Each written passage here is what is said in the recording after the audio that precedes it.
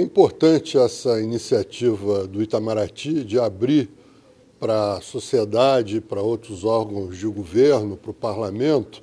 uh, o espaço para que se discutam uh, eventuais correções de rumo e aperfeiçoamentos na nossa política externa. Na questão do clima, eu trouxe essa discussão a ideia de aperfeiçoar uma das submissions, ou apresentações, que o governo brasileiro fez para a UNFCCC, né, na Conferência de Varsóvia, e que dizia respeito à chamada ação antecipada, que é a, a redução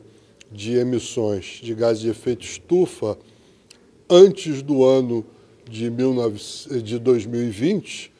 antecipando-se a metas que venham a ser fixadas na Conferência de Paris em 2015. Então, uh, eu propus todo um aperfeiçoamento uh, dessa apresentação do governo brasileiro, no sentido de vincular isso à ideia da criação de mecanismos internacionais de economia de baixo carbono. Isso é um tema complexo, não dá para explicar em detalhes aqui, mas, uh, de fato, fiz essa sugestão.